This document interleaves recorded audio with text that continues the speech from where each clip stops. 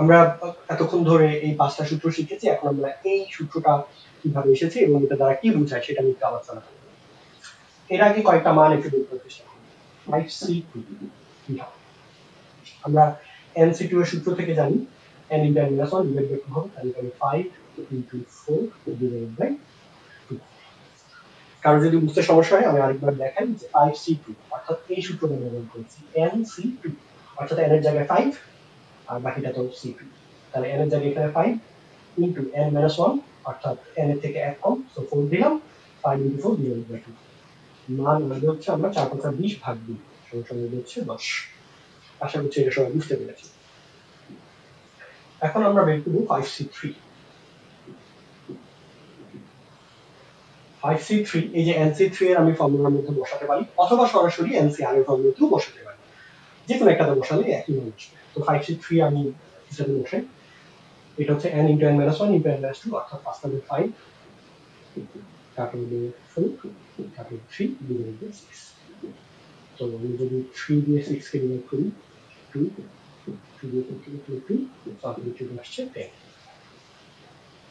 আপনারা আশা করছি অলরেডি একটা সিমিলারিটি দেখতে পাচ্ছেন যে ফাইভ সি টু এর মানও টেন ফাইভ সি থ্রি এর মানও টেন ব্যাপারটা কাকতালীয় কিনা? তো এটা বুঝার আগে আরেকটা জিনিস করি। আমরা সিক্স সি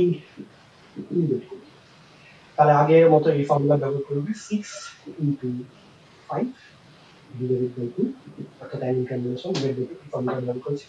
তাহলে এটা আসবে পাঁচশো ত্রিশ ভাগ দুই আমরা এর সাথে সিক্স সি ফোর বের করব। সিক্সটি ফোর এখানে ফর্মুলাটা ব্যবহার করি সিক্সটি ফোর তাহলে সিক্স ফ্যাক্টরিয়াল নিচে হবে six minus four factorial into four তাহলে নিচে এখানে আসছে টু ফ্যাক্টরিয়াল মানে টু ইন্টু এখানে ফোর ফ্যাক্টরিয়াল উপরে আছে সিক্স ফ্যাক্টরিয়াল উপরে সিক্স ফ্যাক্টরিয়ালকে আমি যেমন লিখতে পারি six into five into four factorial এখন এই four factorial four factorial cancel out তাহলে পাঁচশো ত্রিশ, ভাগ দুই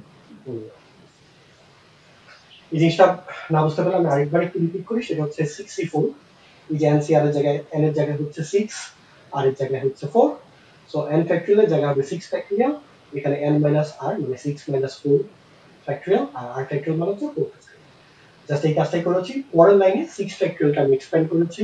Six into five into four factorial লিখেছি। তাহলে উপরে একটা ফোর ফ্যাক্টরিয়াল আসে, নিচে একটা ফোর ফ্যাক্টরিয়াল আসে, দুইটা ক্যান্সেল হয় আর বাকি ক্যালকুলেশন করে আসে পনেরো।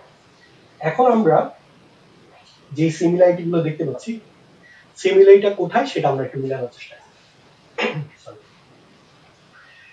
সিক্সটি টু সমান সমান সিক্সটি ফোর এখন সিক্সটি টু আর সিক্সটি ফোর এর সাথে মিলটা কোথায় মিল হচ্ছে ছয় থেকে দুই বাদ দিলে আসে চার, অর্থাৎ সিক্সটি ফোর আর ছয় থেকে চার বাদ দিলে আসে এই জায়গাটাই হচ্ছে সিমিলারিটি এখানেও আরেকটা জিনিস খেয়াল করুন যে ফাইভ সিক্স টু পাঁচ থেকে দুই বাদ দিলে আসে তিন, তাহলে এটা হচ্ছে ফাইভ সিক্স সো এখান থেকে আমরা বলতে পারব যে টেন সি টু সমান হবে দশের থেকে দুই বাদ দিলে হবে আট, অর্থাৎ টেন সি এই জিনিসটাই এখানে বলার চেষ্টা করেছি এন সি আর সমান হবে N C N minus R অর্থাৎ এন এর থেকে আট দুই দিলে যেটা, সেই মানটা পাবো।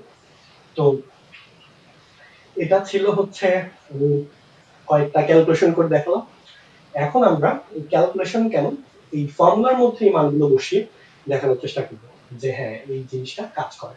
সো এটা খুব খুব খুব বেশি উপকার হবে যদি আমরা একটু মেমোরাইজ করতে পারি। কারণ হচ্ছে, একটু বোঝানোর চেষ্টা করি আমার যদি দরকার হয় ফিফটিন সি ফোরটিন তাহলে আমাকে একটু সব মানগুলো এখানে বসাতে হবে। ফিফটিন ফ্যাক্টরিয়াল নিচে fifteen minus fourteen factorial into fourteen factorial এই ক্যালকুলেশন করতে অনেক টাইম নেবে। বাট আমরা এই সূত্রের মাধ্যমে জানি যে এটা সমান হবে ফিফটিন সি পনেরো থেকে চোদ্দ বিয়োগ দিলে এক, অর্থাৎ ফিফটিন সি ওয়ান এখন আমরা খুব সহজেই জানি যে এন সি ওয়ান সমান সমান এন ফিফটিন সি ওয়ান সমান সমান ফিফটিন সো এইসব ক্ষেত্রে আমার এই ফর্মুলাটা অনেক অনেক বেশি কাজে দিবে।